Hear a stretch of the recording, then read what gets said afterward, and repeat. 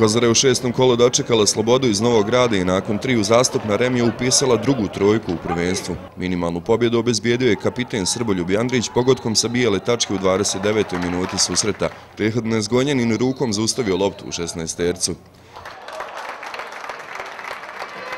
Iz nezanimljivog prvog dijela izdvojili smo šansu Srndovića nakon centar Šuta Ujića i pokušaj Kovačevića iz slobodnog udarca.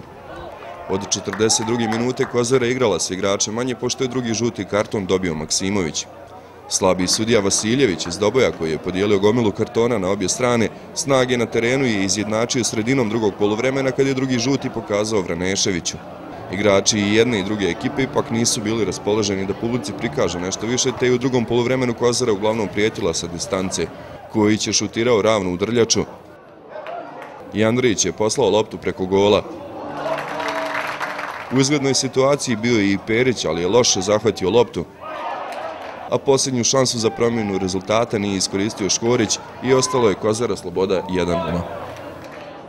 Ja bi svojim čestitao momcima na stvarno jednoj igri, ne baš tako lijepo iz oko, ali jednoj igri gdje su svi pokazali da im je Kozara u srcu i gdje su srcem igrali za Kozar. Stvarno, poslije jako teške utakmice koje smo imali protiv željezničara u srijedu gdje su igrači naši dosta potrošili.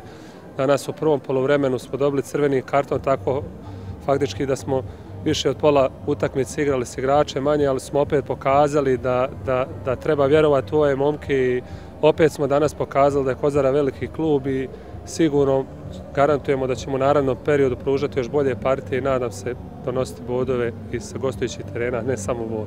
Utakmica po mom nekom dosta nezanimljiva.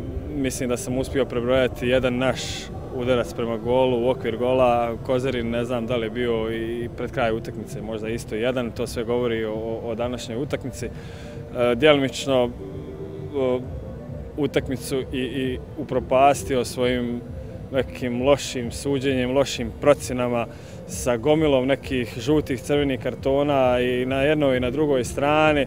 Mislim da danas nije bilo grubog starta na utakmici jednoj i mislim da, da, da, je, da je sudija odredio, odredio i ritam i, i tok i, i sve u utakmici. Znači, ali evo, malo i previše pričam o njemu. Što se tiče ovog ostalog, kažem, e, ni mi nismo pružili nešto posebno, a nije da kažem, ni Kozara, tako da je po meni jedna prosječna futbolska predstava bila ovdje danas. Pored Kozare jedino je mladost iz Gacka bila uspješna kao domaćin savladavši borac rezultatom 2-1. U ostalim utakmicama više uspjeha imali su gosti. U Modrići Modrića Maksima Podrinji 1-2, u Donjem Šepku napredak Sutjeska 1-1, u Tesliću Proletir Drina Hidroelektrane 1-2, u Ugljeviku Rudar Sloboda Mrkonjić grad 1-5 i u Doboju Sloga Drina 0-1. Na tabeli vodi Drina iz Vrnika sa 14 bodova, Podrinje, Mladost i Sutjeska imaju po 11, Kozare i Drina Hidroelektrane po 10, Sloboda iz Mrkonjić grada 9 bodova.